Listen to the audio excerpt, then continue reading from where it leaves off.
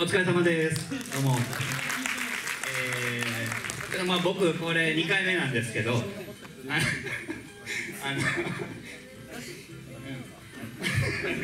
すいません。えー、あもう続けてください。すいません、はいえーと本当、えー、もう予選からですね、えー、もう知った顔もまあいるいたんですけども、まあ、知らない顔も叩いて、えー、もうとてもフレッシュな気持ちで、えー、まあジャッジできました。でまあやっぱりその決勝ラウンドにあの、まあ、上がってからのやっぱりねあのゲストバトラーの強さというかいややっぱすごかったですね、はい、あの僕ももう結構前から見てる人たちばっかりでしたけどまあ、何よりですね長く踊ってるあの人たちのやっぱ面構えが良くなってますねすごく。もう本当にそのバトルの姿勢とか、えー、全てですねちょっと前と比べてももう全然あの違っててわすげえな。まあ本当あの内面が成長してるんだろうなと、えー、本当に思いました、えー、もうダンスだけじゃなくてね、えー、技術のね、えー、っていうのはまあもちろん練習してればね、えー、ついてくるんですけども今日特にねもう決勝上がった人たちのね、うん、えー、もう本当踊りあともう内面から出るねそのエナジーというかこのもうハートの部分がね、えー、素晴らしかったですでまああの決勝ね、えー、まあカイトと光君、えー、今日はね僕は結構もうなんて言うんでしょう。もう情熱と冷静さの戦いがすごくね、えー、感じたんですけども。やっぱりねあの勝とうっていう気持ちでもう無我夢中というかですね、えー、特に涼介とかね あの辺とかも年齢とかとね、えー、まあもうとも戦いながらね、えー、やってるんでしょうけどももうカイトとやってる時ももう本当ねなんて言うんでしょうね。もう形じゃない。あの気持ちというかね。でまあ決勝もね僕やっぱ光君のねその地方から出てきてるそのパワーというか僕もねもともと九州の人間でいろいろねあの気持ちを持って東京に出てきたんですけど意外とねその地方の人の気持ちも分かるんですよ。やっぱすごくハートが強かった。うんあの本当すごくねテッチーなやつ迷ったんですけどなんかねこの光君のハートの強さというか気持ちのね、えー、強さにちょっと打たれてね僕は上げちゃったんですけれども、はい、まあ本当ねすごかったなんかこう目でねそのダンスだけあの見てこう感じ取れる部分じゃなくてねなんかそういうのも素晴らしかったなと思います。はい。ありがとうございます。そんな感じ。ありがとうございます。ぜひぜひまた機会がございましたら、ジャッジの方よろしくお願いします。入江さんでした。ありがとうございます。お願いします。あ、お疲れ様です。お疲れ様です。ありがとうございました。えー、なんですかね、あのー、あんまりそんなに見ないんですよ、本当正直言って。あのね、あんまり見ないんですよ、本当に。こういう場面もあんまりいかないし、もう。久しぶりにダメてた DVD まとめて見ちゃったらみたいな 感じが、えそうなんだよねあのー、お腹いっぱいというか頭もいっぱいですごい刺激にもなりますしね。あの、やっぱり技術もね僕がなんだろう。本当に見てた頃とはちょっと運転の差っていうか若い子もすっごいうまいしうんなんだろうですね。なんかバトルもやっぱ多いし、うん。なんかあのー、やっぱりゲストバトラーとかになるとやっぱ下側もいっぱいあってなんか忘れてたなんかなんとか背負ってるものっていうかなやっぱ、うん、なんていうんですか人生かけて好きさが違うっていうか、はい、うん、やっぱり若い子はねこれからどんどんどんどんあのいろんなことがあって続けると思うんですけど、はい、なんかああいうやっぱりね背負ってるものがあるっていうかやっぱ好き度みたいなうんやっぱりやめられないくて続けたってるみたいな、うん、そういうのはやっぱりねステージに見てて出てくるなん。ですかねベスト8からみたいな感じがすごい良かったですねあのー、正直やっぱりおなんだろうな勝ち負けっていう感じではなくて、うん、技術も含めて気持ちも含めてっていうか表現者としてっていうか、うん、全てねなんかそこにうん、ぶつけていくような姿勢っていうのがねなんか心を打たれるっていうか、うん、まあまあ多分見ててあの、ね、予選残らなかった人も見てくれてなんか明日に向かってちょっと頑張ろうかなみたいな。あ残ってよかったなみたいな。な何かをやっぱ残あの持って皆さんちょっと帰ると思うんですけど、まあ、自分もその一人であのまた明日からちょっとなんか違った感じであの日々過ごせるかなというか。うん。あんまダンス関係ないですけどね。いえそうなんですよ、うん。なんかでもねあのーなんつうんですかねあのっぱ僕も結構今46なんですけどあのー、洋平さんもねこうやって久々に踊ってすごいこういう場をねあの作ってくれたカイトにすごい感謝してて、うん、この3人でね並ぶってことは本当ないですね。マジで、うん、ね洋平さん。ね。僕らの時代ちょっと昔話になっちゃうんですけど、まあ、東京でまだブガルとかねない言わなかった時代っていうか、うん、あのもうね先輩はやっぱみんなタコが好きでね。僕はピートが好きだったんですけどね。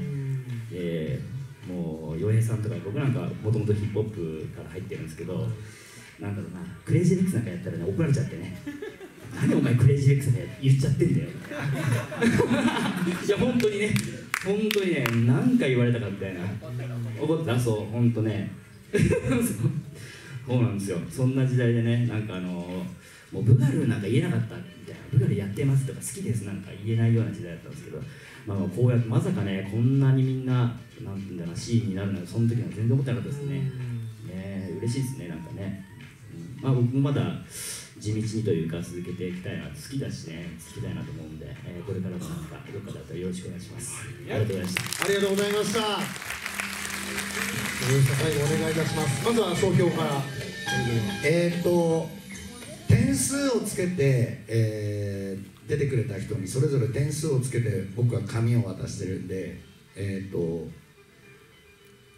出てこなかった人の中に僕がすごいなと思った人も何人かいました、えーその人が「え出てないんだ」っていうのもあったしあのファンのいる人たちが僕の前とか後ろに座ってるんであのジャッジの時に気をつけたのは「まあ、カイトさんかっこいい」とか「誰々さんわー」とか先輩とかの応援をしてる人に惑わされないように、えー、と一生懸命、えー見たのは本当です、えーなんか一生懸命やんないとなんかみんなにぶっ飛ばされるんじゃねえかなっていう気持ちで本当にみんなの踊りは一生懸命見させてもらいました、えーいろんなものを多分一番もらったのは僕だと思います。多分。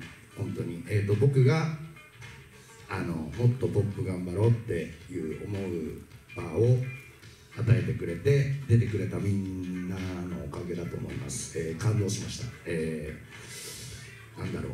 あのすごい本当に全然ブガルとかできなくて、えー走ってたコーラがこんなにすごくなってるっていうのを目の前で見れたし、えーそれより前は本当に東京にポッパーがいなくてで大阪行ったりいろんなとこ行って情報盗んできてあの名前が分かんないんですよ。あん呪文だったんですよ全部。なんだか分かんなかったんですよ。ゆきさんあんなことやってるけどあれ何なんだろうとかって。あの僕原宿のホコ天で踊っててアキラさんに「大阪のやつは床でポップやるんすよみんな」って。フロアムーブってするまでに3年ぐらいかかったんですよ名前を。でその頃に入江が東京出てきて僕らの名前ポップダンス同好会ですよ。すっごいちっちゃいイベントでで僕がコブラっていうイベントを始めたんですよ。コブラのうまいやつは入場料ただコブラのうまいやつ一人も来ない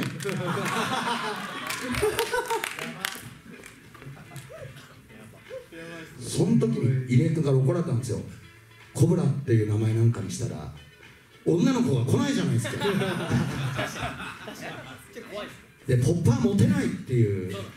でモテない中やってきたんですよね。そしたらなんか女の子がこんなにねポップをやるようになる時代が来るなんても思ってなかったしえー今日ポッパーの女の子でもかっこいい子がいたんでびっくりしました。本当に。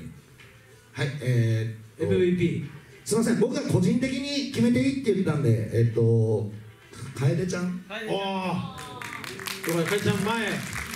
どういらっしゃいませ？まさかの？あいらっしゃってよかったよかった。よかった。よかった。もう私服に着替えて。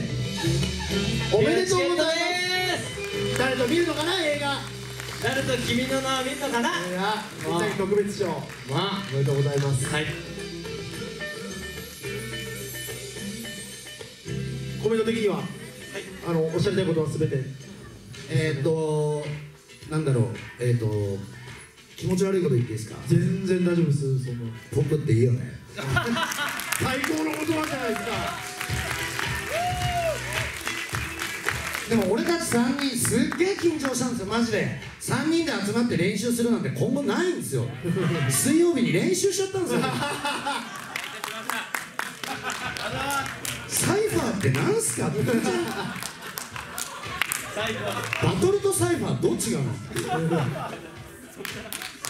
そっからだ。よね学び直しみたいな形で。すごい。あとあのあいつがたまにエレクトロとか駆け上がるからなんか俺だけしか湧いてなかったりするんだよねその時ね。寝かせないように。ね寝かせないように。